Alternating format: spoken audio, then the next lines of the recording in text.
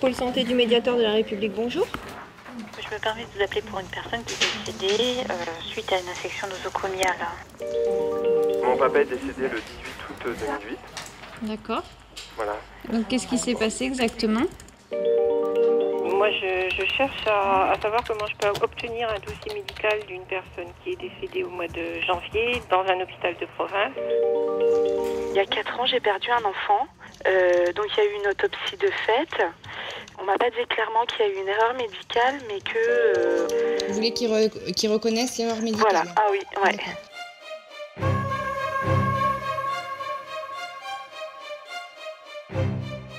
Au réveil de son anesthésie, déjà il m'a dit Maman, je sens pas ma langue. Toute la famille a été euh, très pénalisée par cette erreur médicale.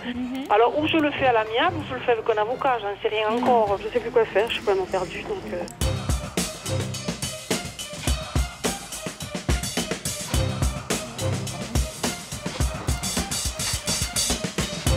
Bureau du médiateur de la République.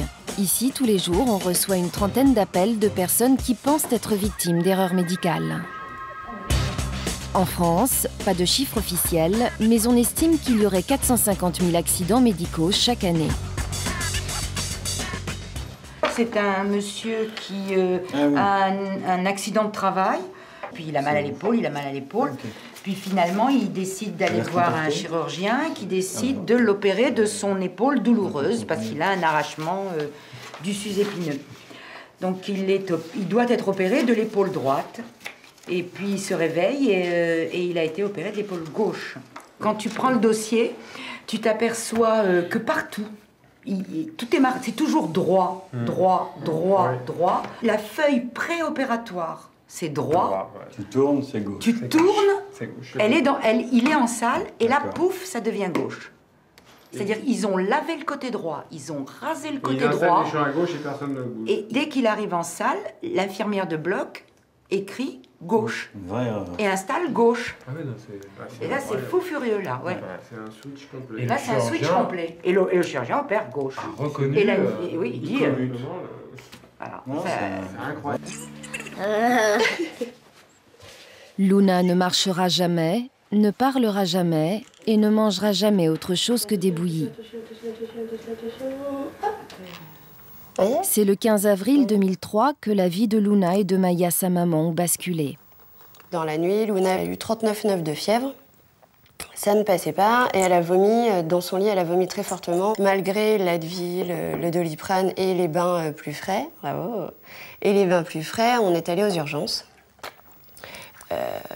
Dans la nuit, donc on a été accueillis par deux infirmières qui ont pris Luna dans un box, qui ont été appelées l'interne de garde.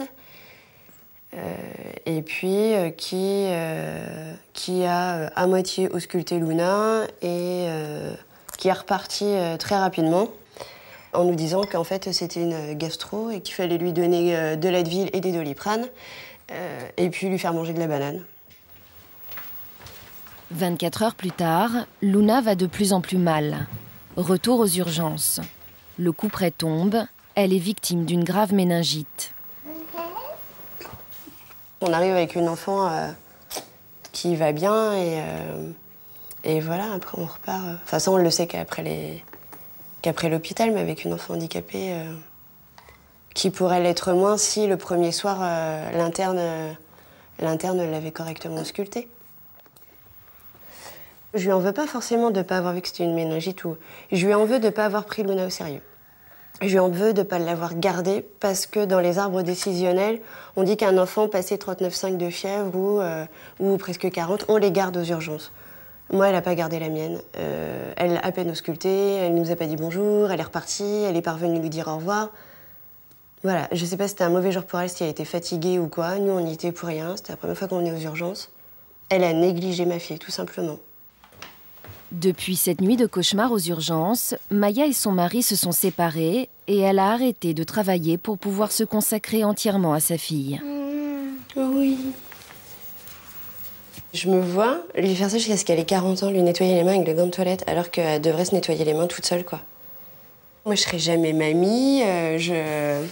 Enfin, je connaîtrais pas les petits copains, je connaîtrais pas les mobilettes, euh, je connaîtrais pas les booms, euh, les... Les foires entre étudiants du jeudi soir et tout, moi, ma fille, elle connaîtra pas tout ça, quoi.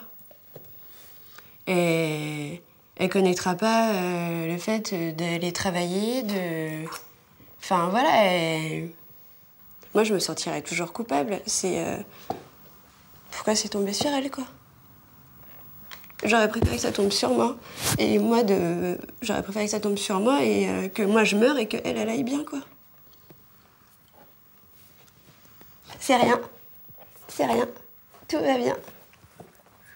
La maman a fait. Bah oui, tout va bien, mon cœur, c'est rien.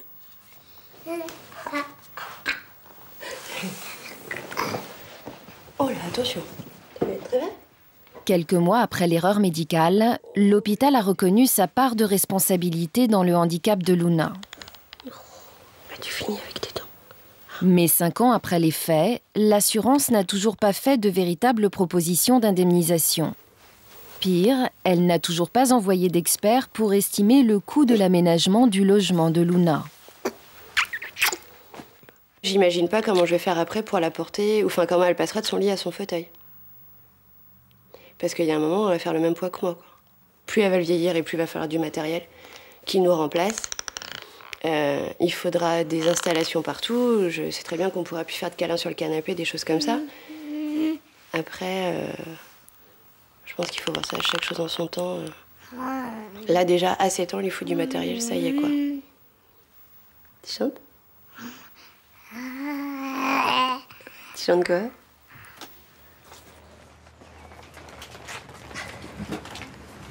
Donc là, avec une voiture aménagée, ça serait évidemment plus facile que d'avoir des rampes. Hop là.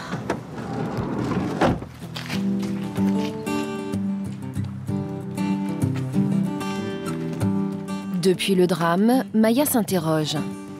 Et si à la place de la jeune interne de garde, c'était un médecin plus expérimenté qui avait pris en charge Luna S'il y a un domaine où euh, il ne faut pas se louper, c'est vraiment l'urgence. Et c'est pour ça que plus on avance dans notre métier, en âge, en expérience, plus on sait une chose, c'est que pour faire le moins d'erreurs possible, il faut être expérimenté, il faut avoir des années de route derrière soi. N'importe qui sait qu'une douleur aiguë dans la poitrine, ça peut être un infarctus. Euh, qu'une douleur violente euh, dans la tête et dans la nuque avec 38 et des vomissements, ah, ça peut être une méningite, même si la plupart du temps, ce n'est pas ça. Mais lorsque ces symptômes que tout le monde connaît, euh, qui ont été vulgarisés, n'existent pas, et, là où le tableau est beaucoup plus discret, il est important que les gens qui, soient là, qui soient de garde, c'est là qu'on a besoin de l'expérience de gens, aussi bien au niveau médical qu'infirmiers. On a, on a besoin de gens qui soient capables de détecter la méningite, l'infarctus, l'accident vasculaire cérébral, surtout si ça n'a pas l'air d'en être un.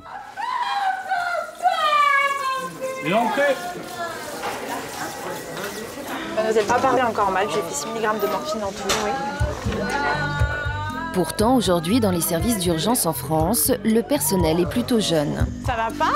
Qu'est-ce qui se passe? Les conditions de travail étant de plus en plus dures, les médecins expérimentés partent dans le privé ou s'installent en libéral. L'hôpital recrute des gens qui sortent des écoles, qu'ils payent donc fatalement beaucoup moins cher. Et vous trouvez de plus en plus de jeunes infirmières, de très jeunes infirmières et de très jeunes médecins dans un endroit où il faudrait une expérience avec, euh, où l'expérience est importante. Comme ici aux urgences de Nice.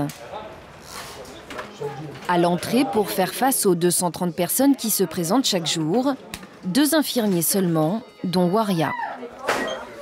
Je mets un bracelet votre nom. Vous allez voir le médecin. D'accord? Son angoisse face à l'affluence de patients, passer à côté d'un cas grave comme celui de Luna. C'est déjà arrivé. Ici? Oui. Mais ça a fini comment? Ça a fini euh, des fois bien, des fois mal. Mais J'ai pas trop envie d'en parler. Pourquoi? Parce que ça reste. euh, ça peut nous arriver aussi et ça reste un sujet délicat. Alors, est-ce que vous avez des problèmes de santé? De santé, non. D'accord. Gaël est aussi à l'accueil. Très bien, ok. D'accord. Moi, ça m'est déjà arrivé, je vous assis là. Il m'arrive une dame que je vois sans regarder euh, s'asseoir ici. Et ça faisait deux allers-retours que je faisais à, à mon, mon poste et je l'entends dire si j'avais su, j'arriverais en brancard. Voilà. Et c'est là que je lève la tête pour la voir vraiment, physiquement. Et en fait, elle avait les cheveux en l'air, comme ça, et les deux pouces cramés. Euh, en fait, elle avait pris du jus. Voilà. Et pour nous, c'est une urgence, euh, c'est un P1, donc, et qu'on amène en des chocs. On n'est pas là pour faire des erreurs, mais les erreurs arrivent, on est humain. hein. On n'est pas des machines non plus. Mais on essaye de faire ça sérieusement. Après, euh, ça gérera, ça se passe bien.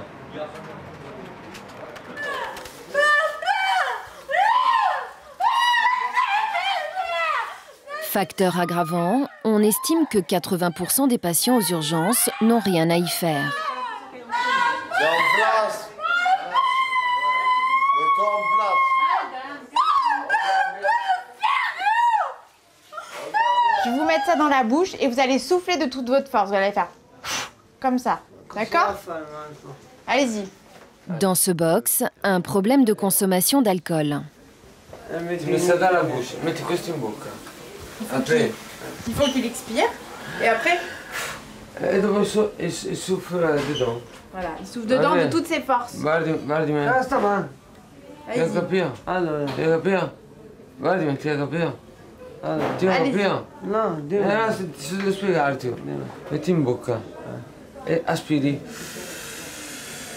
Sempre in bocca. E dopo soffi. Voilà, d'un coup, De- fort, de- dedans. dedans. Voilà. Allez, vas-y. forza. Ma gli ha quelque Non, chose. non, non, vas-y. Vas-y. Non. Non. J'ai pas. Regarde-moi. Bon, impossible à faire, je vais pas passer trois heures à faire un truc Non, comme ça. ah, comme ça. Comme ça. Alors, c'est une vraie urgence ici? Ça, non, pas du tout. Là, ce qu'on fait, c'est de la bobologie, on va dire. C'est quoi la bobologie? Mince, voilà, je fais des bêtises. Ah, La bobologie, c'est des choses. euh, On soigne euh, des petits symptômes de rien du tout. tu fais pas un calmant aussi Non. Non Allez, on s'en va. On s'en va. Euh, parce que parce qu'on est samedi après-midi, qu'il est 19h et que je crois qu'ils n'ont pas de médecin traitant et que la seule solution c'est les urgences. Le souci qu'on a aujourd'hui, c'est qu'on n'est que deux en médecine, donc pour, euh, pour gérer toute la zone. Et, euh, et d'habitude, on est trois. Ça fait perdre du temps, ça, ça nous stresse aussi à nous aussi, parce que du coup, il faut qu'on se dépêche dans, dans ce qu'on fait. Mais euh, puis ça fait. disons que les patients sont moins vite pris en charge, parce que temps que les dossiers sont là, tout le monde est bloqué en fait.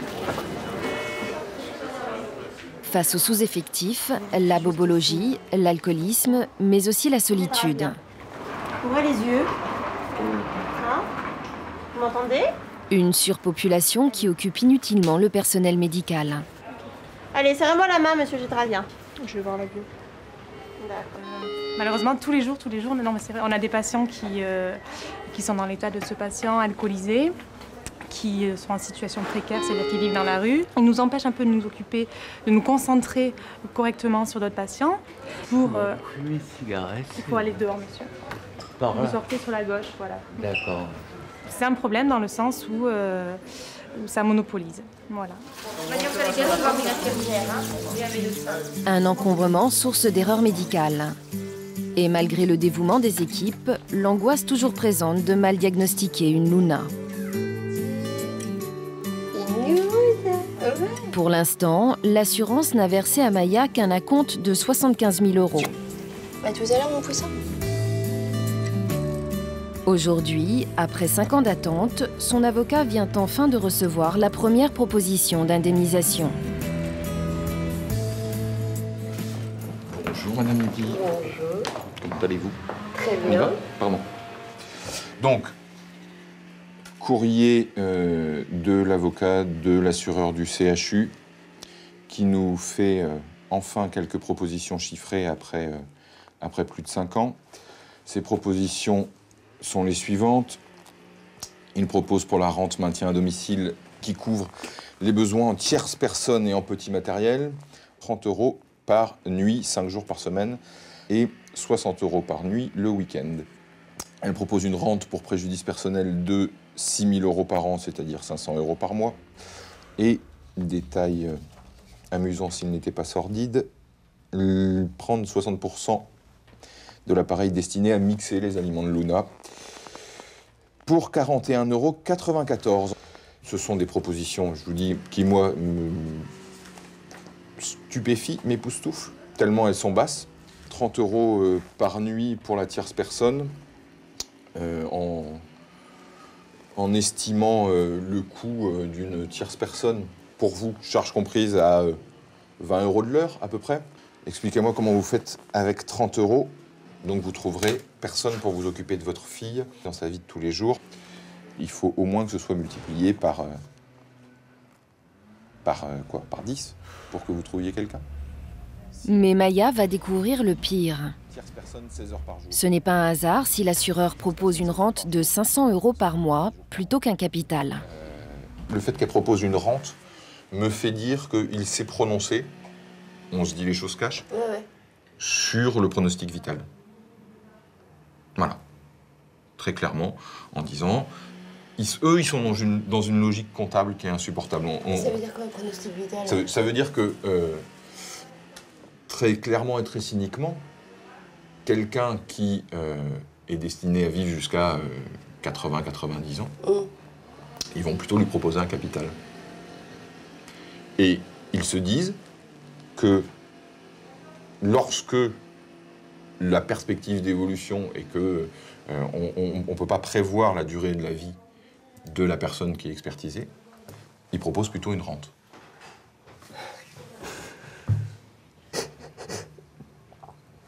Ouais, je peux plus.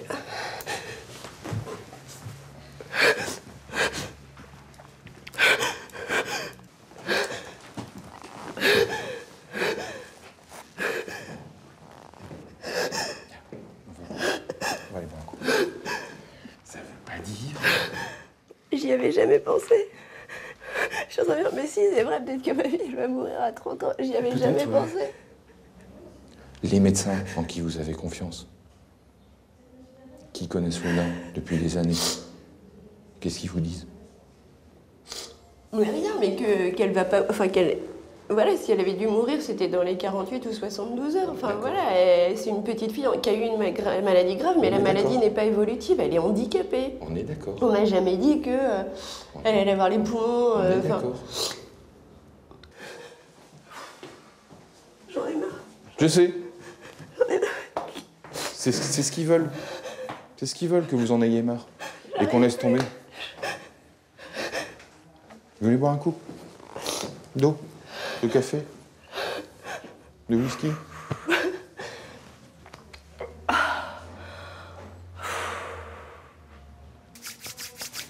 Allez, yalla. Ouais, allez Maya.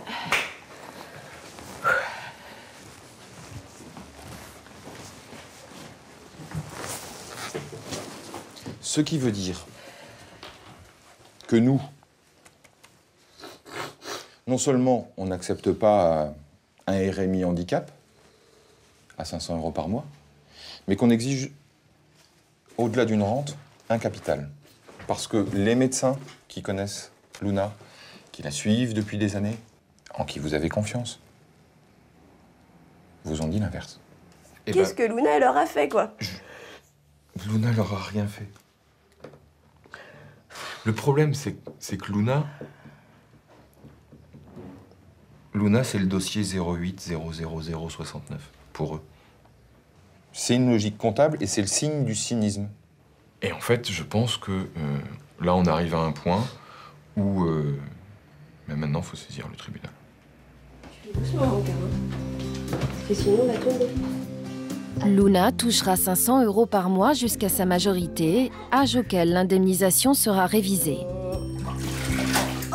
En tout, 108 000 euros alors que l'avocat prévoit que pour vivre dans son état, elle en aura besoin de 10 fois plus.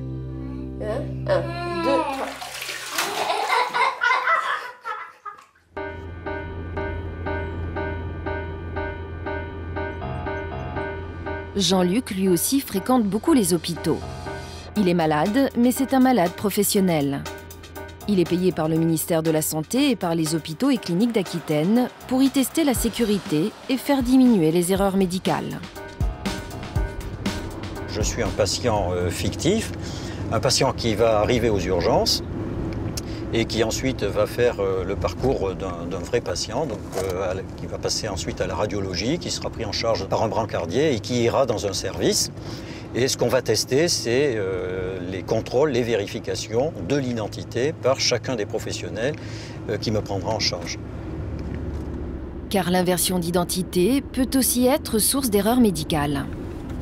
Ces erreurs euh, sont assez fréquentes parce que bien identifier un patient, c'est-à-dire donner le bon soin au bon patient, c'est assez complexe parce qu'on a pas mal de situations dangereuses, par exemple euh, des homonymies. Il y a des noms qui sont assez fréquents dans la région et si plusieurs patients sont hospitalisés en même temps et en particulier dans le même service, parfois dans la même chambre avec le nom, il peut y avoir des risques de confusion. Elles peuvent avoir des conséquences très graves. Par exemple, ça peut être un patient qui est opéré à la place d'un autre, pas forcément euh, du bon côté, du bon organe. Et ça peut être aussi euh, un patient qui va prendre euh, le médicament euh, du voisin. Par exemple, dans un de nos établissements, le patient a pris un traitement antidiabétique d'un autre patient et s'est retrouvé en réanimation. Hein, donc vous voyez que ça peut menacer le pronostic vital et même entraîner le décès dans les situations les plus graves. C'est cet établissement de la région bordelaise que Jean-Luc va piéger. Le personnel a été prévenu qu'un patient fictif débarquerait dans l'année, mais ne connaît bien évidemment ni le jour ni l'heure de son arrivée. Je monte aux urgences Pour pouvoir suivre l'expérience, nous nous sommes équipés d'une caméra cachée. Officiellement, nous sommes des amis de passage et Jean-Luc a eu un malaise alors qu'il venait nous chercher à l'aéroport.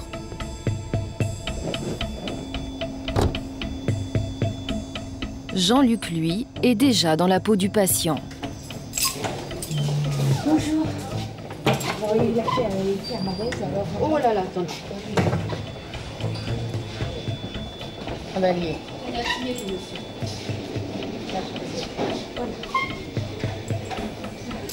Qu'est-ce qui s'est passé? Eh ben, il conduisait et euh, il... En plus, Il conduit. Hein? Qu'est-ce que t'as as senti quoi? Est-ce que vous auriez vos papiers sur vous, monsieur? Carte vitale, mutuelle, une carte d'identité? Jean-Luc est aussitôt conduit en salle d'examen. Salut-vous en salle d'attente, je m'occupe de lui. Ouais, j'en irai Jean-Luc. Pendant ce temps, on tente de vérifier son identité. Il a rien sur lui. Il a rien du tout Il part sans rien, lui. Jean-Luc n'a volontairement pris que sa carte d'électeur. C'est incroyable. Ça- Vous connaissez son adresse? Il est à Pessac, il habite à Pessac. C'est... Pas la bonne? Non. Donc il a fait un malaise avec une perte de connaissance. Oui, très rapide. Hein. Ouais, rapide. euh, On a eu juste eu le temps de s'arrêter, il- comme ça, et puis bon, il est revenu quand même. hein. Aucun moyen d'identifier le patient, une situation classique aux urgences. Mais les gens, ils arrivent à me fournir euh, quand même la, la vitale ou la mutuelle, mais j'ai pas la carte d'identité. La carte d'identité, euh, c'est Bah, quand la même vita- le plus important parce que la carte vitale, il y a trop d'erreurs avec les cartes vitales. Et qu'hier, j'ai eu encore un problème de date de naissance. Euh, la carte vitale, c'était un 1er mai alors qu'il était né le 14 mai. Donc là, comme là, je suis obligée de me fier à pas grand-chose. Ça, ça me gêne. La secrétaire de l'accueil va aussitôt placer au poignet de Jean-Luc un bracelet avec les informations qu'elle a récoltées sur sa carte d'électeur. C'est désormais sa seule identité. Une identité que chaque membre du personnel qui s'approche de Jean-Luc est censé vérifier pour éviter les erreurs médicales. Bah oui. je, je vais lui dire, et puis dès qu'on peut vous faire rentrer dans la salle, on vous fait rentrer. C'est gentil, madame. Pendant qu'il est seul avec le médecin, Jean-Luc va lui révéler qu'il est le patient fictif et avec sa complicité, changer les informations sur le précieux bracelet. Ah oui, c'est ça. demandé qu'il change mon bracelet original. C'est moi qui l'ai fait faire, volontairement, pour voir si ça l'apercevait. Désormais, il est madame et non plus monsieur que non, Jean et plus Jean-Luc, et il a été rajeuni de 20 ans. Comment il va? Bah, les paramètres sont à peu près corrects, l'électro est bon. Ouais. L'objectif est de tromper cet infirmier qui maintenant va le prendre en charge. Ouais. Le médecin l'a vu, il va avoir droit à quand même une échographie abdominale et radio abdominale. On a des identités. Mais très professionnel, l'homme s'aperçoit aussitôt de l'erreur. Vous pouvez Et rien à voir, quelques cartes s'il vous plaît. Carte bancaire, c'est tout Euh, non, parce qu'il n'y a pas de nom d'identité, c'est une carte bancaire. Il y a une carte électorale. Christine, j'ai une, une information incomplète pour un patient en salle d'urgence. Monsieur Quenon. Voilà. Il se prononce pas Jean, mais Jean-Luc. Voilà, c'est un monsieur, et non pas une dame sur le bord de, radio. Il est né le 16 5 58, et non pas le 16 5 78. Non, non. Donc vous pourrez refaire des, étiquettes avec les bonnes, les coordonnées, le bon sexe du patient et ainsi que la bonne date de naissance. La jeune femme de l'accueil qui avait relevé l'identité de Jean-Luc revient changer le bracelet. En euh, enlever le bracelet là, parce que c'est pas la bonne. Excusez-moi. Bien sûr, elle est perplexe. J'ai pas compris ce qui s'est passé, mais en tout cas. euh, Mais elle nous fait une confidence plutôt inquiétante.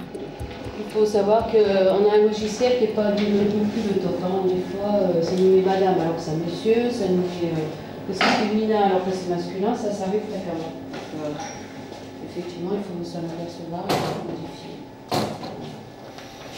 vous n'êtes pas aidé Non, on n'est pas aidé, non.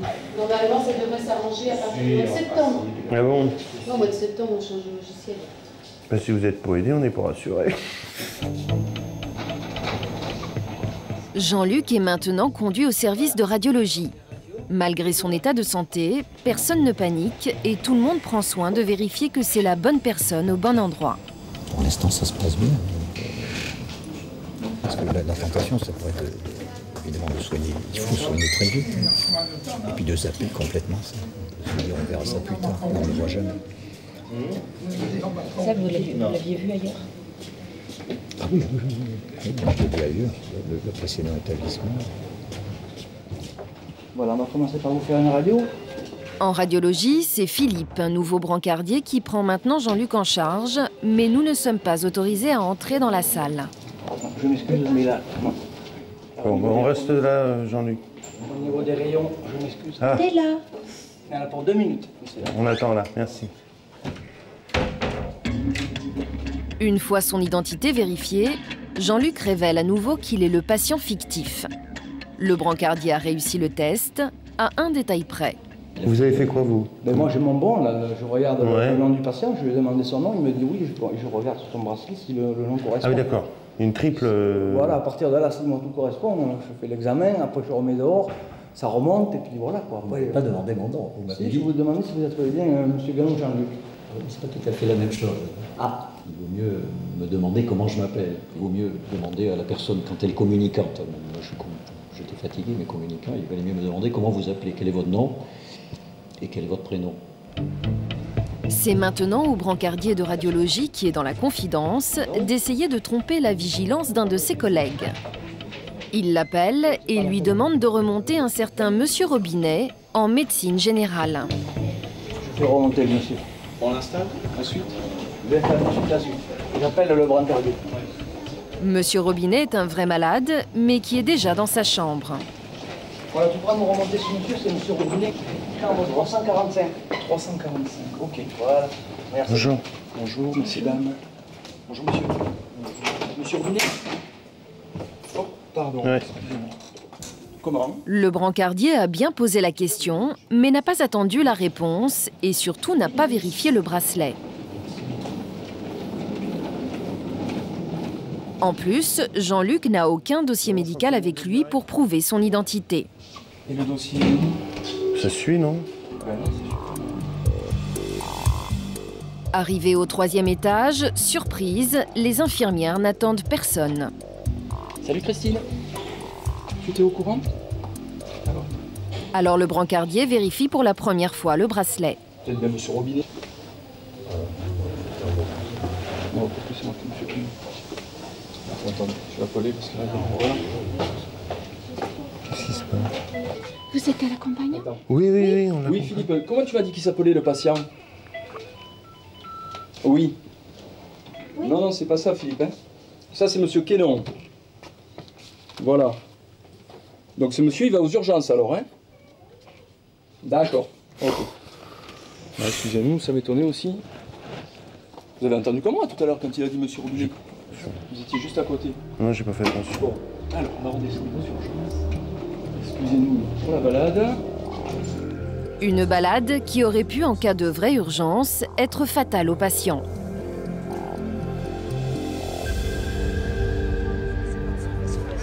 Oui, Fin de l'exercice, le test aura duré deux heures.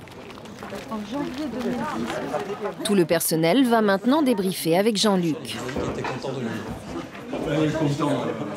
Donc juste pour, dire qu'en termes de sécurité, de l'identification, donc on vous a mis en difficulté, ça vous l'avez bien compris. Première chose intéressante, effectivement, je me méfie de l'identité. Jusqu'à preuve du contraire, euh, elle est à vérifier. Donc on a vu un peu d'agitation. Et tout ça, ça nous a fait plutôt bonne impression. hein. Ce qui aurait été euh, une très mauvaise impression, c'est je m'aperçois d'une erreur et finalement, je dis rien et c'est pas mon problème. euh, Les choses. Voilà. En plus, la matinée était un peu, euh, à peu près euh, identique euh, à la situation, c'est-à-dire que les gens qui arrivaient sans, documents, sans papier. Et, et voilà, donc il fallait absolument euh, Ce obtenir ces documents. Voilà, c'est tous les jours comme ça, bien sûr. Une situation crédible. Je propose qu'on passe, euh, si vous en êtes d'accord, euh, on est arrivé à la radio. Alors les collègues de la radio, voilà. Donc on, on a dit voilà, euh, donc il faut aller, il faut remonter dans, dans sa chambre un patient qui est hospitalisé, qui est qu'on a ici à la radio. Il est dans un brancard dans le couloir, point.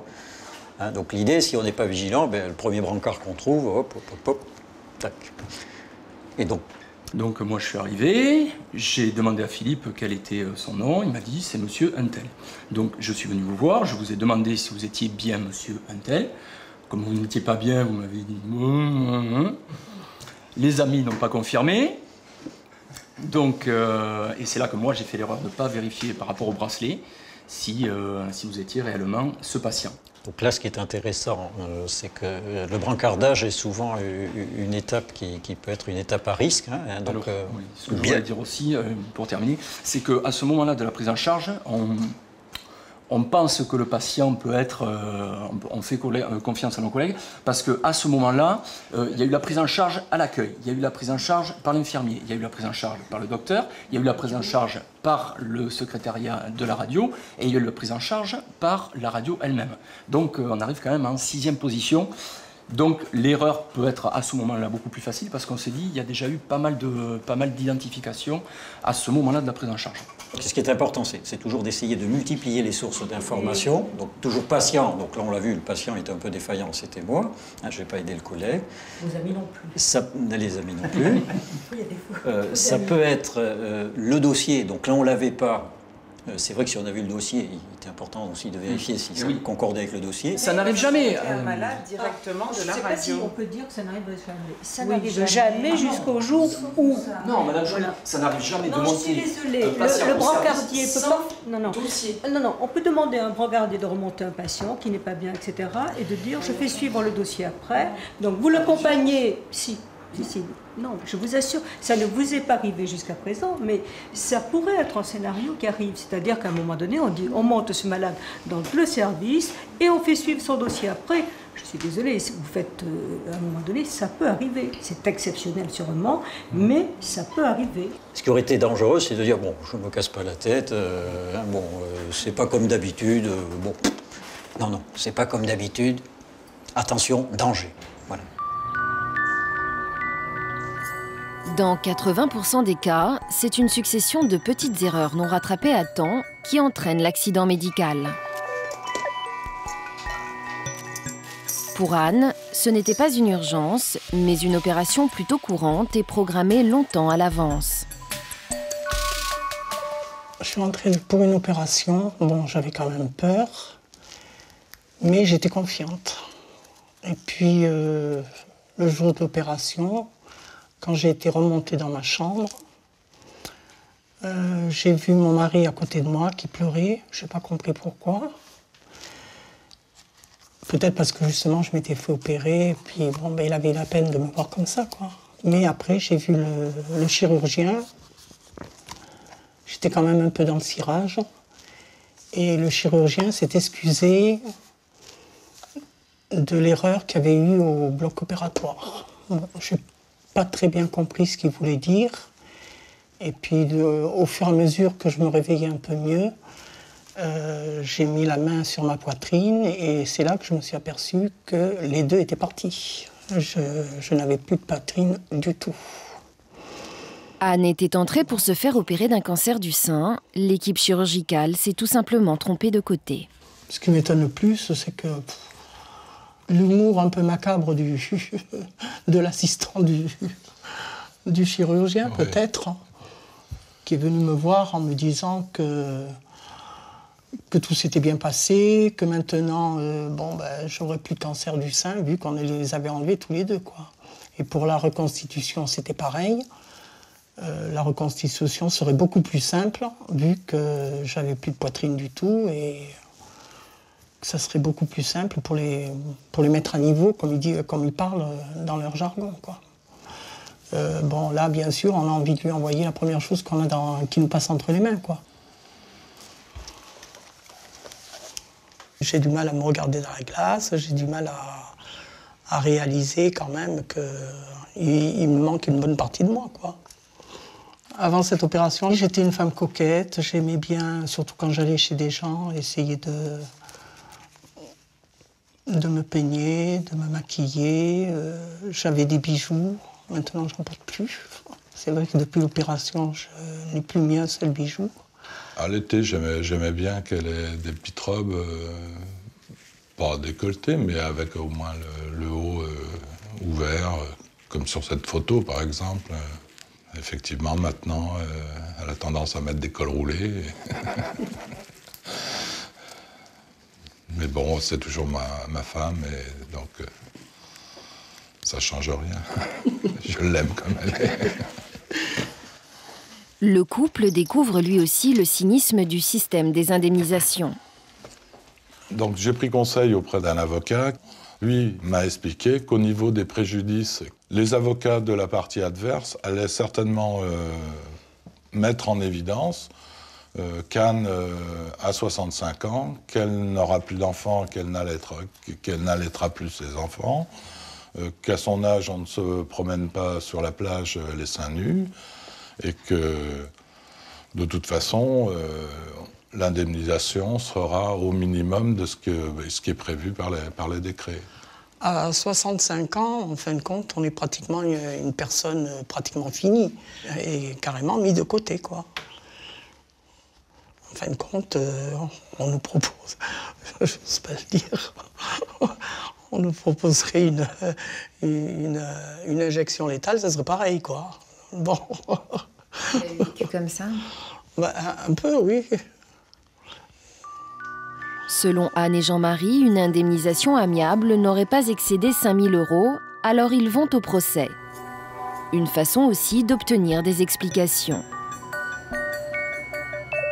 Nous sommes allés essayer de comprendre ce qui s'était passé dans cet établissement pourtant réputé. Ici, on fait 1200 opérations du sein par an et c'est la première erreur de côté. Pour nous, la directrice générale a accepté de revenir sur les lieux de l'erreur. Effectivement, euh, il y a une personne qui fait la préparation, mais il y a toujours un vis-à-vis qui vérifie.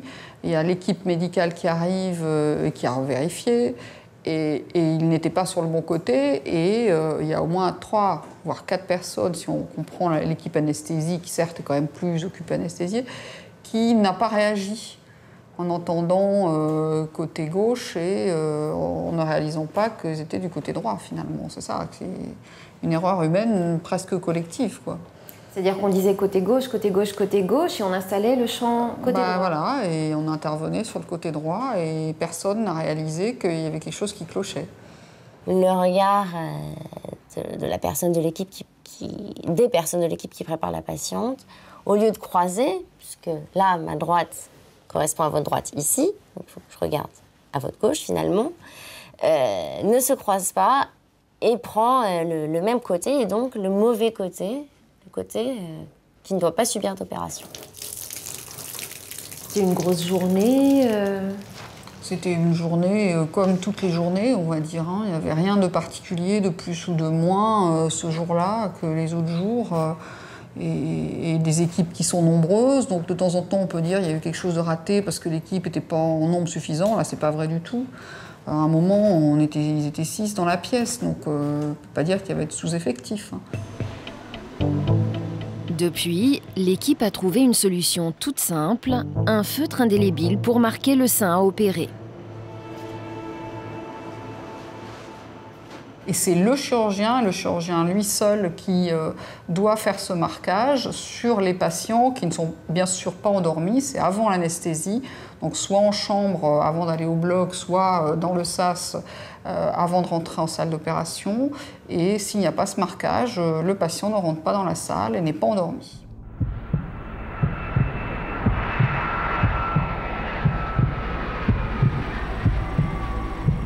Une checklist avant décollage, s'il te plaît. Checklist avant décollage. Commande de vol. Vérifier. Vérifier. Anti-ice. Vérifier. On décolle en piste 14 gauche. Vérifier. Checklist terminée. Si, bah écoute, moi je suis prêt. Tu peux lui demander euh, l'alignement décollage, s'il te plaît Dernière technique pour lutter contre les erreurs dans les hôpitaux, la checklist comme dans l'aviation. Nous sommes à la clinique de Livette. Ici, avant chaque opération, on procède comme avant un décollage. Bonjour, chère madame. Ça va, vous n'avez pas froid? Non. Parfait. Donc, madame Nathan Riette, vous êtes née le 20 mars 1920. Exactement. Alors, c'est le docteur Delaunay qui s'occupe de vous. Et on va faire une PTH, une prothèse totale de hanche. Prothèse totale de hanche gauche. Gauche. Alors, vous allez me montrer votre côté gauche, s'il vous plaît. Parfait. Ce matin, la checklist est testée dans la salle d'opération du docteur Christian Delaunay. Il est chirurgien orthopédiste, Bonjour. une spécialité où le risque d'erreur de côté est fréquent. Côté. On a deux bras, deux jambes, donc les... on a dix doigts, dix orteils, donc les risques d'erreur, le deuxième orteil pour le troisième orteil, euh, l'index pour le majeur, ce sont des choses qui sont... Le risque est fréquent, la survenue euh, véritablement de l'accident est très rare, mais elle n'est pas, elle n'est pas nulle, et on a tous été confrontés à une erreur qui a été au bout. Vous, ça vous est déjà arrivé? Bien sûr, ça m'est déjà arrivé une fois. Une erreur de côté? Une erreur de côté. C'était euh, une erreur neurochirurgicale sur une trépanation euh, en urgence euh, il y a de cela 35 ans à peu près. Lorsque j'étais en formation neurochirurgicale et l'équipe s'est trompée de côté à 4 heures du matin sur une préparation de, de crâne à trépaner. Donc il a fallu effectivement se rendre compte qu'on était du mauvais côté et tout rechanger et trépaner de l'autre côté, ce qui effectivement était tout à fait préjudiciable. Bon, on y va? On fait la partie euh, anesthésie de la checklist, s'il vous plaît Alors, Catherine, donc, euh, Madame Nat, donc prothèse totale de hanche à gauche. Au niveau des allergies, donc sulfamide, iode et pénicilline. Monsieur Delaunay, les pertes sanguines prévues sont de 300 cc environ. Dernière précaution, le comptage des compresses. Ah ben, si on en oublie une, euh, c'est un petit peu embêtant quand même. Hein. Ça peut donner des infections, ou voilà. Puis c'est vrai que quand ça saigne, on en met une dans un coin, euh, elle a vite fait de s'imbiber et on la voit plus. Donc il faut vraiment compter et avoir le même compte à, à l'aller et au retour. Ok, bon ben nous on va commencer alors. Incision.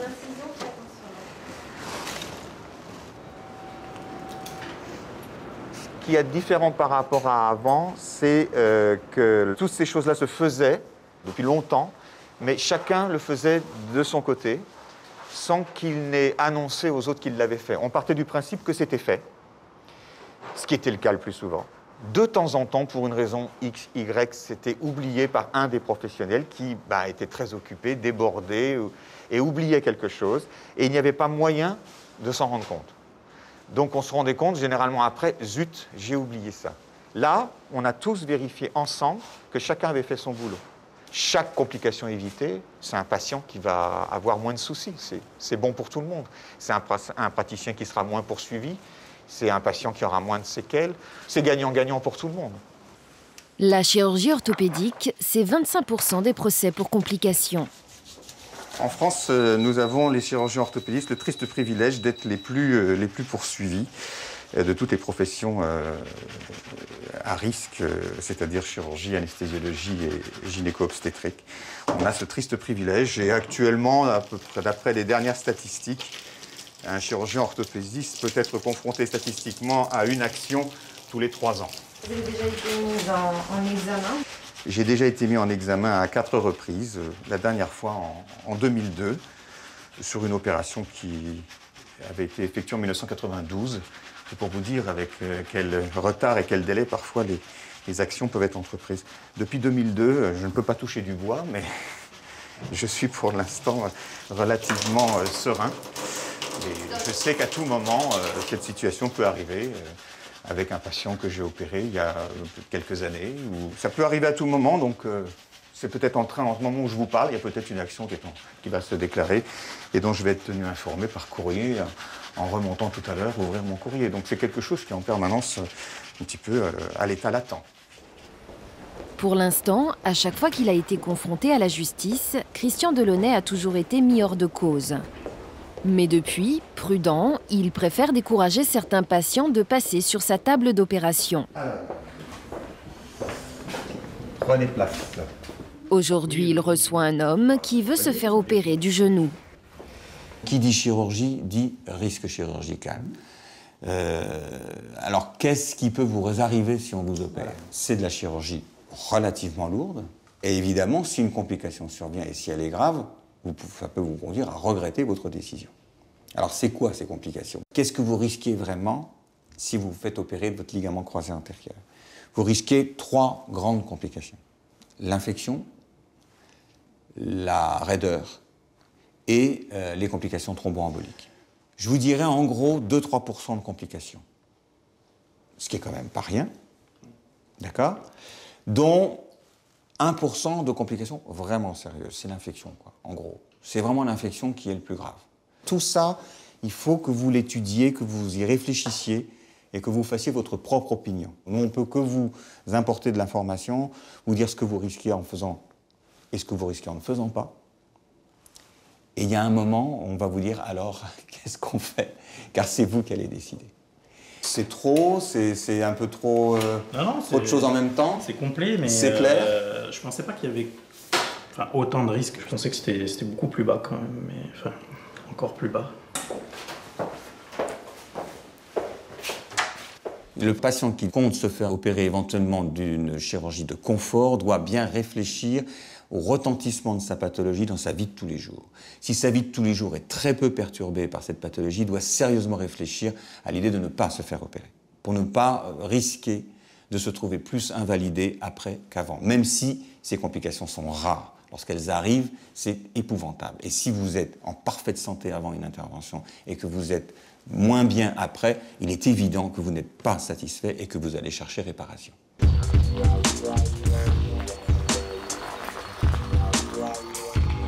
Chaque année, sur 15 millions d'hospitalisations, on estime de 10 à 20 000 le nombre de morts suite à un accident médical.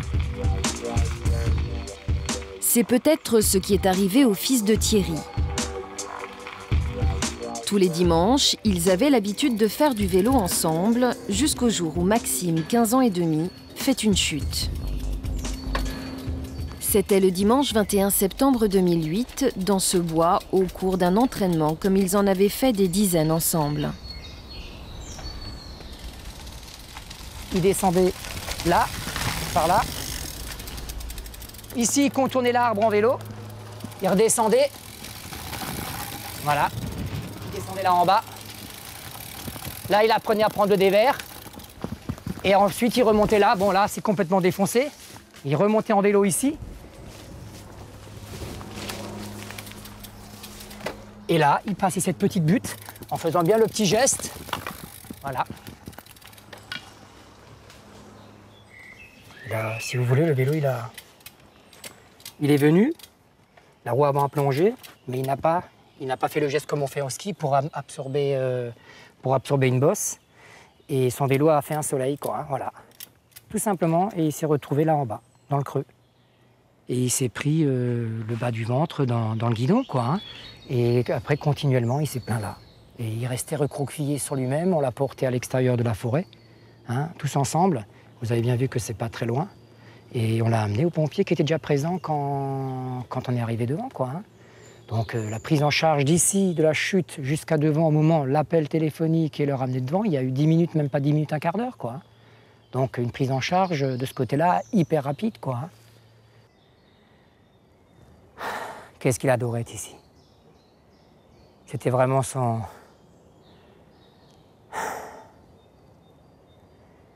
Il aimait être là.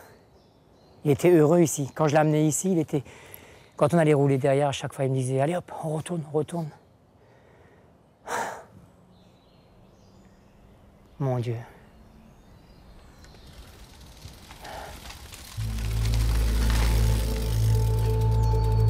Maxime adorait le cyclisme.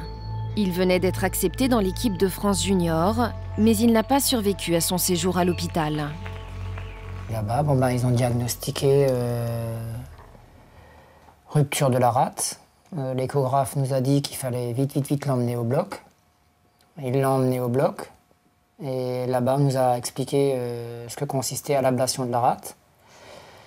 Et que c'était quelque chose de bénin, qu'il fallait pas qu'on s'inquiète ou quoi que ce soit. Et malheureusement, ben, une heure plus tard, il ressort de- du bloc opératoire, on le retrouve en réanimation, non opéré. Finalement, pour éviter l'ablation de la rate, le médecin qui est d'astreinte décide par téléphone et sans voir Max de le transfuser à haute dose. Et toute l'après-midi, ils n'ont fait qu'une seule chose, donner du sang, du sang, du sang et du sang. Au fil des heures qui passaient, ben, tout gonflait. Je veux dire, son ventre gonflait, sa poitrine aussi gonflait. À un tel point que quand euh, je suis allée lui chercher son pyjama en fin d'après-midi, on a dû, euh, Thierry et moi, lui, lui déchirer, euh, couper l'élastique euh, du bas de son pyjama. C'était la preuve qu'il avait, euh, je sais pas, pris 10, euh, certainement bien 10 cm de tour de ventre. Et, et euh, ça, ne les a, ça ne les a pas fait réagir. C'était le sang, ça? C'était, oui, dû au sang, au, à, à tout- l'hémorragie, tout ce qu'on lui a, oui, à l'hémorragie, son sang à lui, plus tout le sang qu'on lui a rajouté, euh, tout lui est rentré dans, dans le ventre et ça, ça gonflait, ça gonflait. Tout le monde sait aujourd'hui, aujourd'hui on le sait, que quand on entame une transfusion sanguine, il faut systématiquement mettre une sonde urinaire. Et il n'en avait pas. Sinon? Bah, Le sang n'est plus filtré par il les plus reins. filtré par les reins et ça se mélange au, au sang et voilà, et c'est la catastrophe, c'est l'empoisonnement quoi. hein. Et le chirurgien était où alors? Ils ne savent pas où il était.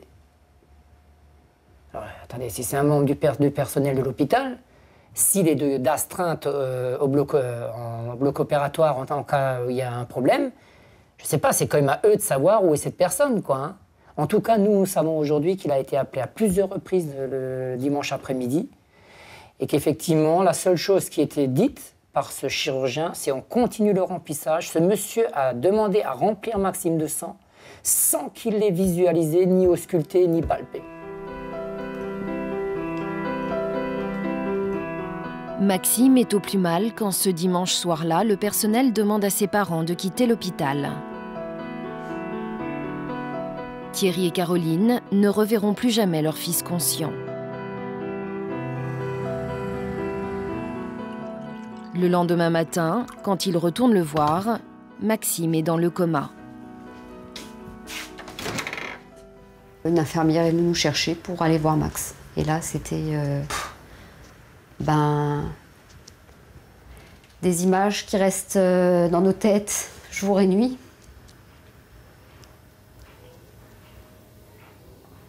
Le lundi après-midi, on a essayé ben, de lui masser les jambes. Elles étaient, ben, on les bougeait plus. Les mains, elles étaient recroquevillées. J'ai demandé à une infirmière, mais je peux même pas lui masser les mains. Elles sont toutes, toutes dures. Il était raide. Il était raide. Il était tout raide. Il était raide et froid. Et aujourd'hui, on vit avec ça. Toutes les nuits, tous les jours, tous les jours. Tous les jours, ça revient, ça se ressasse, ça revient. Comment vous avez compris que c'était fini pour votre fils? Mardi soir, vers euh, 11h30, il a fait son premier arrêt cardiaque, ils l'ont réanimé. Et c'est là que tout le monde m'a regardé en baissant les yeux et bon, ben, on avait compris que j'ai fait des signes pour savoir euh, si c'était bon. On m'a fait comprendre que c'était pas bon. Et là, tout le monde est parti en courant. Tout le monde a vidé la salle. Il n'y avait plus qu'une infirmière avec nous. Moi, j'étais accroché à Max. Et cette personne m'a pris par le bras. Caroline est sortie en pleurant. Et cette, cette personne m'a dit Battez-vous, ce qu'ils lui ont fait n'est pas normal. Il y a du mensonge dans l'air qui est juste de phénoménal. Moi, j'arrive pas à comprendre qu'on n'ait jamais été reçu par qui que ce soit de l'hôpital. hein. Ça, moi, j'arrive pas à comprendre. Encore aujourd'hui, personne de l'hôpital nous a téléphoné pour nous dire écoutez, on est désolé. Est-ce qu'on pourrait en parler? Ça, ça, nous ferait du bien, peut-être. Mais aujourd'hui, je... au début. Mais je sais pas si aujourd'hui, euh, je pourrais encore leur parler à ces gens-là. Non. Il y a différentes attitudes du médecin face à une erreur médicale. D'abord, il y a celui qui ne veut pas l'admettre. Je suis euh, au-dessus ou juste en dessous de Dieu, je ne sais pas encore, mais je suis tellement haut que je ne peux pas avoir commis la moindre faute. Euh, malheureusement, il y en a encore un grand nombre, plutôt ceux de l'ancienne génération, je ne vous le cache pas, mais il reste encore des, individus qui se considèrent comme euh, les meilleurs, quoi qu'il arrive. Et que c'est la faute à pas de chance, ou la faute de l'infirmier, ou de l'interne, qu'importe.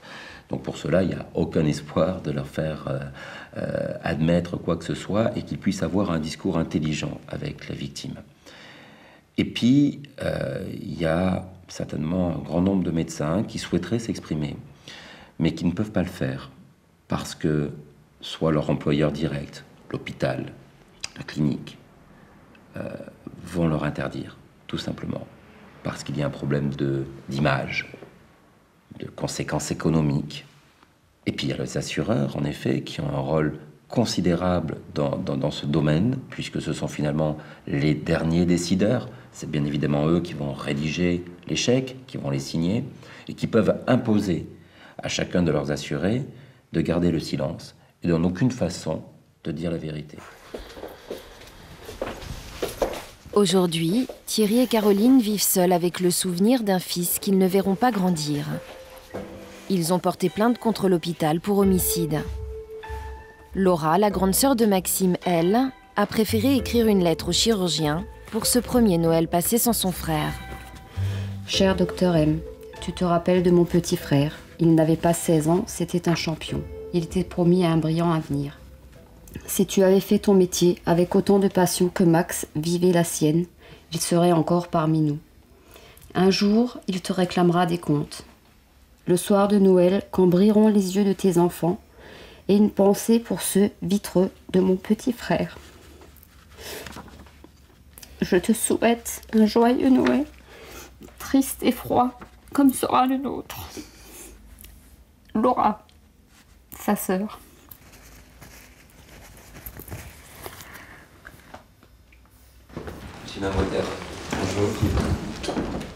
Thierry et Caroline ont aujourd'hui rendez-vous chez leur avocat. Depuis six mois, ils réclament le dossier médical de leur fils. Leur crainte, qu'il ait été volontairement falsifié par l'hôpital.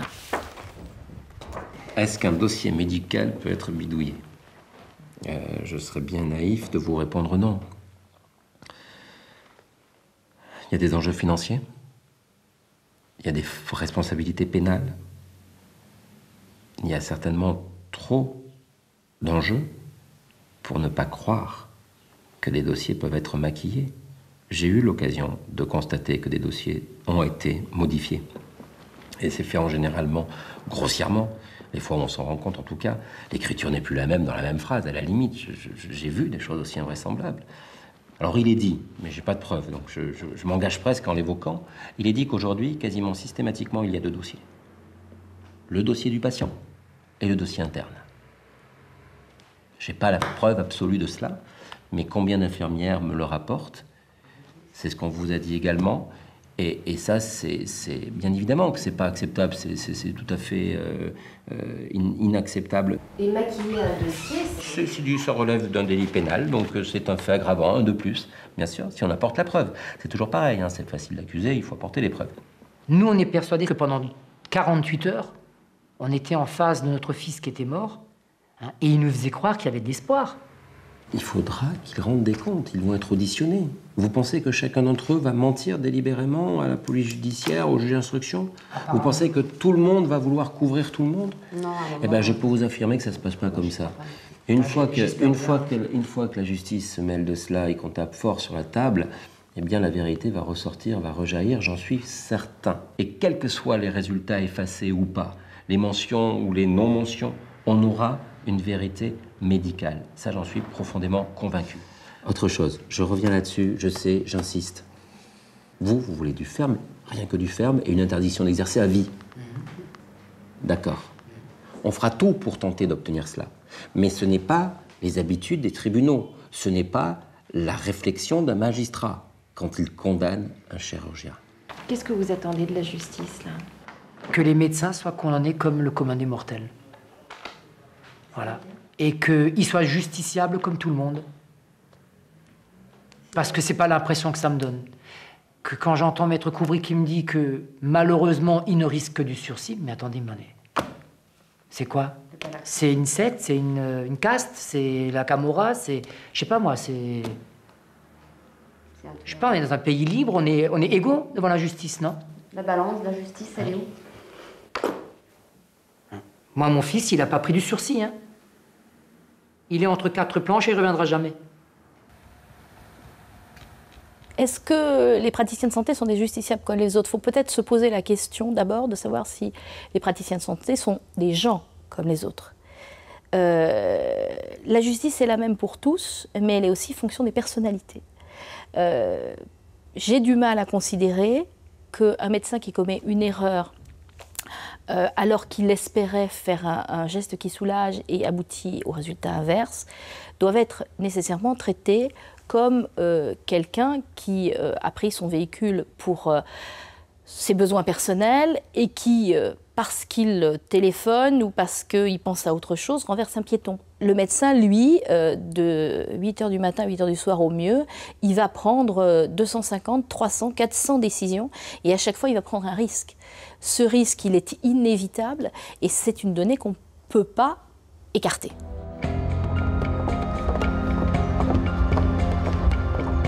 Des procès pour homicide suite à une erreur médicale, il n'y en a que quelques dizaines chaque année en France. Nous sommes au tribunal de Bobigny. Aujourd'hui, Maître Coubris défend Priscilla. Bon, Priscilla, vous allez comment Un peu, un peu stressé. Angoissé Ouais, ouais. Vous savez que vous n'avez pas à prendre la parole. Hein. Ouais. Vous restez Heureusement. simplement euh, comme simple spectateur, mais je me doute bien que c'est des moments très difficiles. Vous avez vu la salle? Non, non, non. Elle est ouverte, on peut y aller. C'est gentil, merci. Priscilla a 29 ans. Cela fait deux ans qu'elle attend le procès de l'infirmière qui a provoqué la mort de son père suite à une inversion de médicaments. Le médecin a donné certaines instructions à l'infirmière, lui demandant d'injecter euh, du, du chlorure de potassium euh, dans une poche euh, en perfusion et du Lazilix directement. Le Lazilix est fait pour euh, évacuer l'eau qu'on a dans le, dans le corps. Et puis, il y a eu, euh, elle a interverti en fait euh, ces injections et mon papa a eu du chlorure de potassium directement en intraveineuse, ce qui a provoqué un arrêt cardiaque euh, de suite. L'infirmière, c'est Françoise, cette jeune femme de dos. Ça va, ça se dénoue un peu? Ça se dénouera après. Aujourd'hui, elle est venue à son procès avec un ami, son mari et son avocat. J'aimerais que la justice comprenne que. que je suis pas une meurtrière. Ça fait deux ans que je pense à, à ce moment-là, à la famille. euh, ce passage-là a privé euh, une personne de son papa. euh,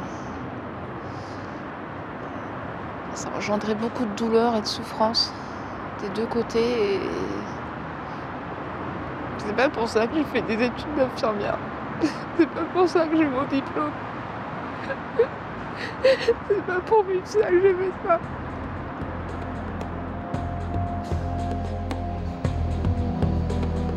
Comment aujourd'hui une infirmière dans un hôpital français peut-elle confondre deux médicaments? Pour comprendre, nous sommes allés à l'Institut Montsouris à Paris. Démonstration dans cette salle d'opération. Au-dessus du malade opéré ce jour-là, deux poches de produits, deux poches visuellement identiques. Voilà, ça c'est le ringer. Il est Belle. Boliven, il est là. Voilà. C'est exactement le même. Il y a juste. euh, c'est juste écrit. La présentation est même, la couleur est la même, euh, tout est pareil. Dans l'urgence, on lit moins. C'est vrai, on lit moins. C'est peut-être aussi une source d'erreur de ne pas lire. hein, euh. Et celle-là, celui-là, on le passe, euh, dans le- les coronaires pour arrêter le cœur. Avec un, un soluté à base de potassium qu'on rajoute dedans. Et donc, si on inverse les deux, ça ne fait pas du tout la même chose. Là, par contre, ça peut être grave. Faire un arrêt cardiaque, Ouais. Oui, oui. On peut faire un arrêt cardiaque, je pense. si- Juste à côté, un autre exemple. Voilà, vous avez, alors là c'est flagrant, vous avez l'éphédrine et l'atropine, même grandeur d'ampoule, même type d'écriture. Donc on a un peu poussé des hauts cris quand on a vu ça, parce que ça n'a pas du tout la même utilité. Ben, Il y en a un, c'est pour remonter la tension, et l'autre pour la fréquence cardiaque, donc euh, ça n'a quand même pas les mêmes effets. C'est voulu pour aussi qu'on incite le personnel à lire et à relire avant l'injection. On peut pas, on peut pas tout lire. Et par exemple, nous, on voit, on fait des gardes, on travaille la nuit, on fait des urgences la nuit à 3 h du matin. euh, quand vous voyez l'écriture sur les ampoules, vous vous rendez compte Le risque. euh, C'est nos fameuses ampoules. Il y a un risque d'erreur. Il y a un risque. Moi, je dis que si on ne fait pas attention, il y a un risque. Responsable de la pharmacie, Joël de Maria placarde régulièrement un peu partout dans l'hôpital des affichettes sur les médicaments à ne pas confondre. Je viens voir si l'IA d'hier, elle a mis ça. Tu les as vus? Non? Tu les as pas vus? Sur ces poches-là, par exemple, c'est vrai qu'on peut se tromper facilement. Moi-même, ça m'est arrivé. hein. Donc c'est au dernier cours, quand vous le branchez, vous voyez que vous avez fait l'erreur, que vous le débranchez et vous le mettez, euh, vous le jetez. Vous avez eu chaud. Ah mais euh, ça arrive à tout le monde. hein. Actuellement, c'est le problème, la confusion des, des genres au niveau des, des solutés. Ça, c'est fréquent. hein. Ah mais à chaque fois je suis le, le- je suis la méchante pour ça parce que c'est moi qui achète. Donc en général je suis la méchante parce que c'est de ma faute s'il y a ça dans l'établissement. Voilà. Donc euh, je pense que je vais être obligée de revenir en arrière là-dessus. Même si on me demande de faire des tas d'économies euh, et donc de passer le plus de volume chez un même fournisseur hein, pour rationaliser les coûts. Euh, je vais quand même reprendre le ringère dans l'autre laboratoire de façon à avoir une, une poche euh, un petit peu différente qui, donne- qui donne une alerte. Mais ça, ça nous fera pour les volumes utilisés, je crois que je l'ai calculé, 11 600 euros de plus de dépenses par an. Quant aux médicaments que Françoise l'infirmière a intervertis avec un autre, ce sont les laboratoires eux-mêmes qui ont décidé d'agir et de différencier sa présentation. Avant, le chlorure de potassium avait cette tête-là.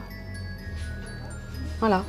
Donc en fait, avant, on avait de l'écriture noire sur une ampoule en vert, exactement comme le chlorure de sodium, exactement comme le chlorure de magnésium. Toutes les ampoules étaient pareilles. Les ampoules de chlorure de potassium maintenant se présentent comme ceci. On a euh, une écriture en rouge. Pour quelle raison? Parce que c'est le produit qui a entraîné le plus de- de- d'accidents en fait. Et c'est euh, le produit qui entraîne les accidents les plus importants s'il est injecté non dilué. Je ne pas donné à 79, c'était la date de ta naissance. Franchement. Le père de Priscilla, c'était cet homme, Claude. C'est à lui que Françoise l'infirmière a injecté par erreur le potassium en intraveineuse. Entré à l'hôpital pour un problème cardiaque diagnostiqué tardivement, Claude fait une crise et dans la panique, l'infirmière se trompe de médicament.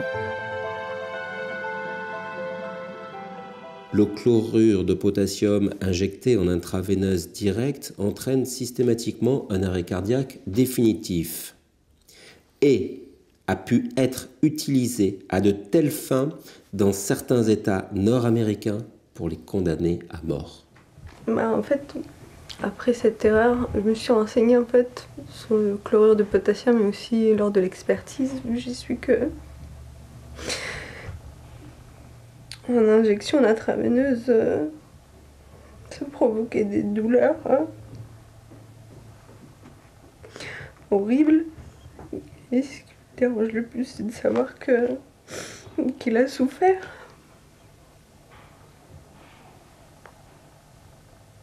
Et puis, je me dis que c'est pas juste. Enfin, il avait 50 ans, hein, il y a 50 ans. On devrait pas mourir euh, enfin, à cause d'une erreur euh, d'injection. Enfin, je trouve pas ça juste.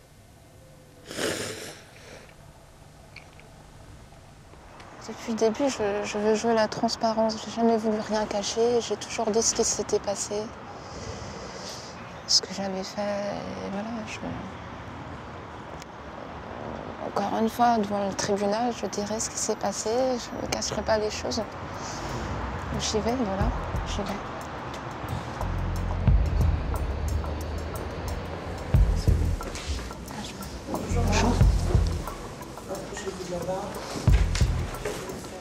Finalement, après deux heures de procès, le tribunal retiendra que Françoise était une bonne infirmière, mais qu'au moment de l'accident, elle était enceinte, fatiguée et à cinq minutes de la fin de son service. Elle sera reconnue responsable de la mort du père de Priscilla et le procureur réclamera 18 mois de prison avec sursis, sans interdiction d'exercer.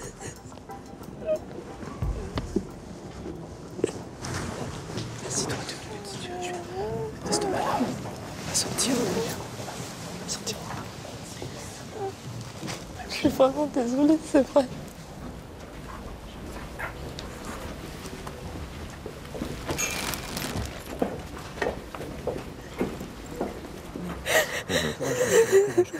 Faut pas te démonter, faut pas, faut Ah pas, ouais, la- faut pas t'effondrer, faut pas t'effondrer. La tension en qu'il y même avait. temps, hein. je pense qu'il faut qu'elle pleure parce Oui, que oui, oui, oui, oui, toute pleurer, cette oui. pression pendant Ah deux ans, oui, la il pression faut lâcher ça. Faut y rentrer Faut dans la salle. ça, Hein ouais. Hein Faut y aller. L'essentiel, c'est que j'ai on va partir et mon diplôme. C'est tout ce qui Voilà, compte. t'as pas, pas oui. d'interdiction d'exercer ton, ton travail. Tu Voilà. peux continuer d'exercer ton travail. C'est tout ce qui compte. Voilà, Mhm. Voilà. Pour arriver à des interdictions d'exercer, il faut quand même euh, des. des- des- enfin, euh, euh, oui, il faut la maladresse, il faut la négligence. Si par exemple l'infirmière vous dit qu'il n'y avait pas de prescription, donc elle ne savait pas comment poser le potassium, là c'est normal de, de- d'interdire des- de poser la question d'interdit d'exercer. Mais ici, euh, elle, est, elle est compétente, c'est pas remis en cause, euh, c'est pas remis en cause dans, dans le dossier. C'est une, c'est une faute grave, ponctuelle, qui remet pas en cause les, les compétences. Et les 18 mois avec sursis, bon, on peut dire ces sursis, il faut les vivre, il faut, le, faut le vivre. Il faut continuer à travailler avec cette sanction ensuite. Donc j'espère que ça sera euh, très réduit. Ce que,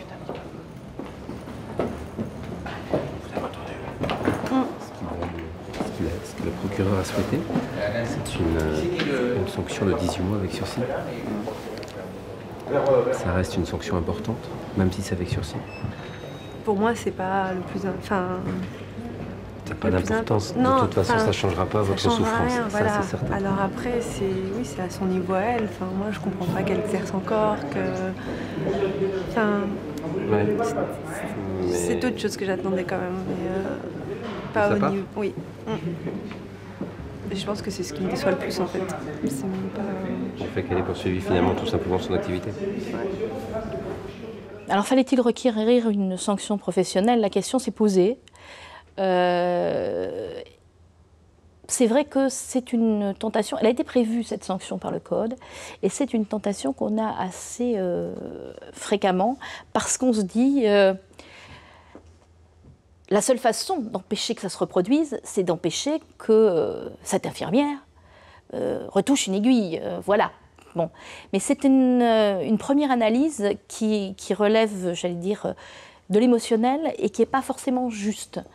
Et je pense que euh, c'est plutôt une bonne chose euh, qu'elle soit euh, aujourd'hui encore infirmière et qu'elle soit un exemple vivant pour ses collègues de ce qu'il ne faut pas faire. Un mois plus tard, la peine sera réduite à 12 mois avec sursis.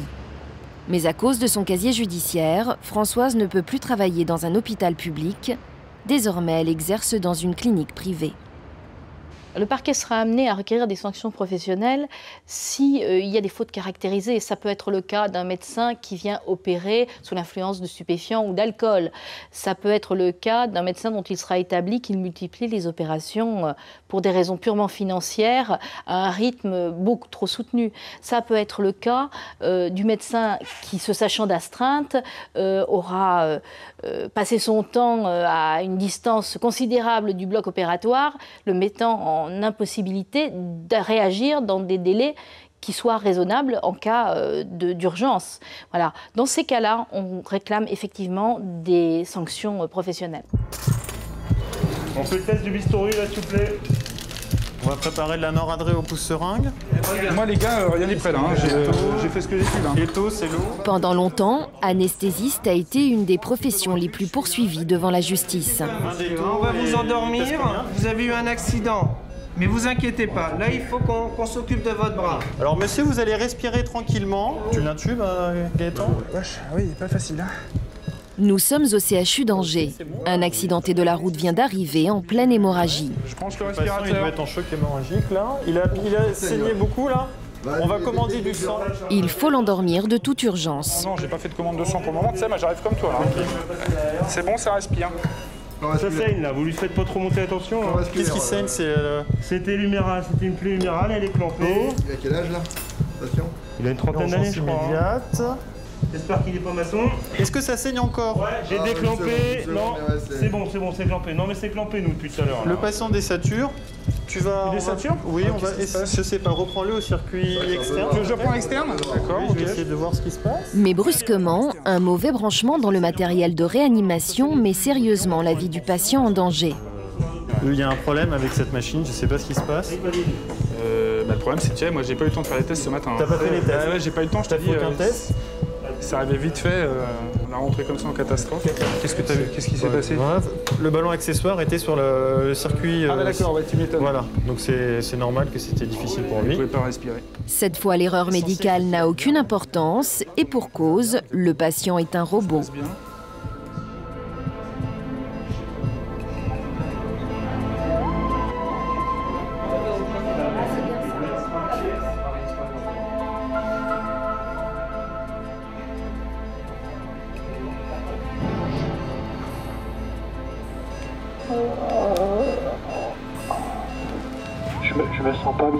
Bien, j'ai la tête qui tourne, docteur. Faut, faut faire quelque chose là, parce que je sens là que j'ai peur de mourir. Depuis un an ici, ce robot et toute sa famille aident les anesthésistes à s'entraîner pour prévenir les accidents médicaux. Je vous propose d'ausculter le, pour savoir, euh, il y a des endroits bien particuliers pour entendre une auscultation normale. D'accord C'est un mannequin haute fidélité, c'est-à-dire qu'il va reproduire, il va tenter de reproduire euh, la physiologie d'un enfant normal. C'est-à-dire que tout d'abord, il respire avec une amplitude et une fréquence euh, que je peux faire varier. Je peux le mettre en apté. Alors, on a le pouls ici. Et là, il cyanose. hein. Le- la lumière que vous avez, c'est que l'enfant cyanose. Dans quelques instants, une erreur va être simulée en conditions réelles sur ce bébé. Je vais préparer, t'inquiète pas, Pierre. C'est Pierre, l'interne anesthésiste, qui va être testé. Il n'aura que quelques minutes pour trouver l'erreur et la rattraper. Vous êtes deux acteurs. À l'intérieur, pendant ce temps, Jérôme le formateur explique le scénario. Tu es une jeune infirmière, tu viens d'arriver, euh, on n'a pas le temps de te présenter tout le matériel. Tu vas euh, injecter tes antalgiques, ta morphine, mais le patient, euh, enfin l'enfant rapidement, va avoir une dépression respiratoire. L'erreur médicale qui est simulée, c'est une erreur de dosage en morphinique, puisqu'on a différentes ampoules de, différentes, de différents dosages. Et là, la, la jeune infirmière n'a pas pris la bonne ampoule, elle ne s'est pas rendue compte, et la dose est dix fois plus importante. Toujours isolé dans le couloir, Pierre est donc le seul à ne pas connaître le scénario. Je me sens un petit peu stressé, comme dans un examen, parce que bah, euh, je sais que c'est c'est une simulation, mais enfin, il y a les chefs qui regardent. euh, j'ai pas envie de. J'ai pas envie de me planter devant tous les petits collègues qui vont me regarder, surtout que c'est normalement des situations que je dois être capable de gérer euh, au terme de, de mon internat. Donc j'ai révisé un petit peu hier quand même euh, euh, mes drogues d'urgence.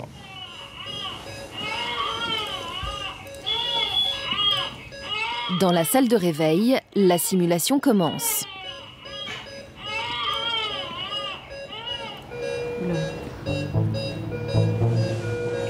Gaëtan? C'est c'est normal euh... Eh oh Petit bonhomme Eh oh Bah il a vraiment bien arrêté. écoute, là, il est en train de je, vais prévenir. Ouais, tu vas euh, appeler le médecin, on va mettre de l'oxygène. Tu vas le chercher tout de suite Il est en train de saturer. Il est à 90% de 7. Théo Je, je comprends pas du tout. Enfin, j'ai rien fait de particulier. euh. Respire ou pas? Luxe-le un petit peu. Je le luxe un petit peu? Ouais. Il est en apnée là. Hein. Du Tu fais de la morphine Ouais, je fais de la morphine. Combien? Euh, Ça devait être une ampoule de 0,5. 0,5 mg, je crois. T'as fait 0,5 mg de morphine Ouais. Ok. Vas-y, reprends-le un peu.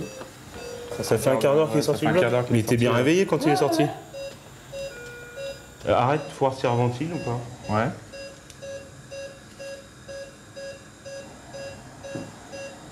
Si tu veux prendre il la tête, tu ventile peux. pas hein. du tout là, mais il est serré ou pas là Ouais, il est Ouais, serré, ouais, ouais, il est serré, ouais.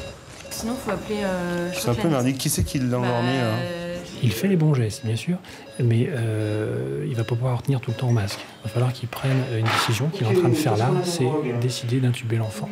C'est ce qu'il va faire. Il tuyau pour envoyer au respirateur.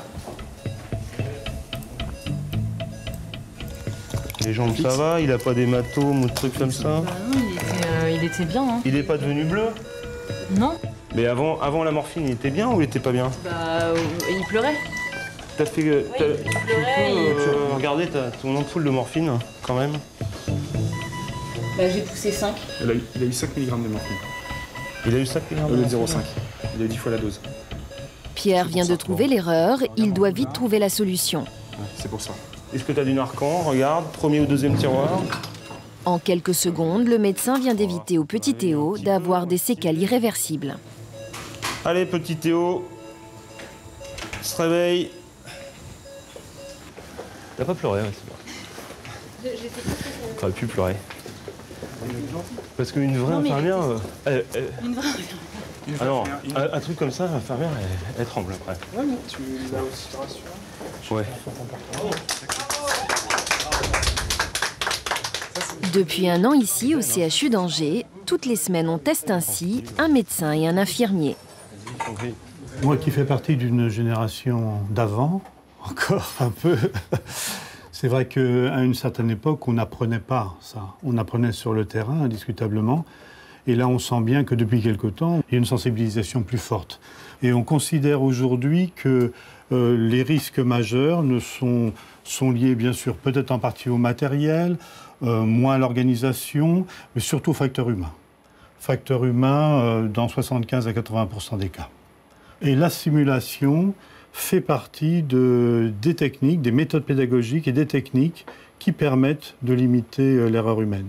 Donc, euh, pour cette nouvelle simulation, on se retrouve au bloc opératoire pour endormir un patient. en Grâce à ce type d'innovation, en 20 ans, les anesthésistes réanimateurs ont fait diminuer leur taux de mortalité par 10. Je vais avoir du mal à vous aider.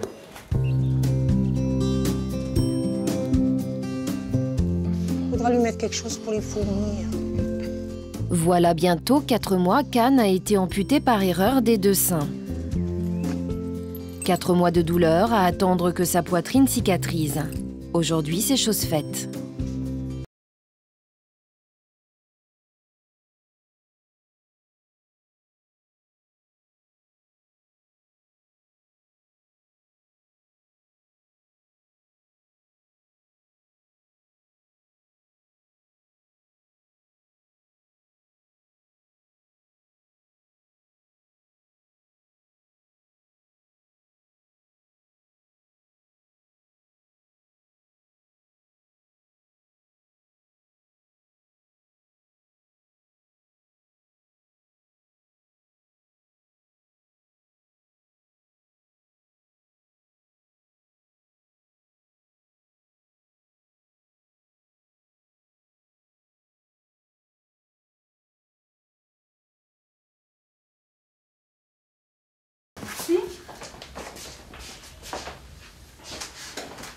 Voilà. Alors on va déjà essayer le sous-vêtement pour voir celui qui vous ira le mieux. Puis après on équipera la prothèse Il ne faut pas de contention, il ne faut pas de compression, il faut que vous soyez totalement à l'aise. Donc on, va, on en essaiera plusieurs s'il le faut. Qu'est-ce que vous en pensez? Oui, ça fait presque plus naturel. Oui, oui, oui, oui. Vous allez voir. Ça va vous réconcilier avec vous-même. Une fois dans la poche, vous voyez, ça vous fera... Non, ça se verra pas du tout. Mais c'était pour voir le volume. Ouais. Le volume qu'on avait choisi ensemble. Oui, c'est vrai. Regardez-vous de profil. Ouais. Est-ce que vous voulez montrer à monsieur? Si monsieur veut le voir. Si monsieur veut bien, veut bien se... Il n'y a pas besoin de plus. Ah ben c'est toi qui vois. Ah, maintenant, mais qu'est-ce que vous aviez avant? Euh, comme, euh, Comme volume, en, en bonnet Euh, beaucoup. Beaucoup. plus, En 90. euh, Oui, c'est le côté qu'on avait trouvé Ouais. positif dans cette histoire. On avait Ouais. dit qu'au moins... euh, Pour avoir ce que je voulais. Voilà. Mais S'il faut que- positiver, autant le faire de ce côté-là. Exactement. oui. Mais moi, je vous trouve bien comme ça. Le, le modèle va bien aussi. Mm. Il est agréable au porter, tout coton. Oui, oui, oui, La patte de bien. boutonnage, vous avez vu, même tout- si tout vous pouvez resserrer encore un petit peu. Mais Non, si vous êtes bien aujourd'hui, oui. Ouais. Si vous êtes bien dedans, on va adapter la prothèse euh, adhérente et puis euh, ça fera un, un pas de plus. un pas de plus. Oui. Venez avec moi. Une étape. Une étape d'avant. Pour retrouver votre femme, là. Ah oui, oui, tout à fait, oui, oui. Moi, je ne l'ai pas perdu, c'est elle dans sa tête qui, qui, qui a perdu quelque chose, mais moi, pas du tout. ouais. C'est un long processus, hein, euh, moral, ju- De poursuite reste ouverte à tous. Son système d'accès aux soins demeure aujourd'hui encore l'un des meilleurs au monde.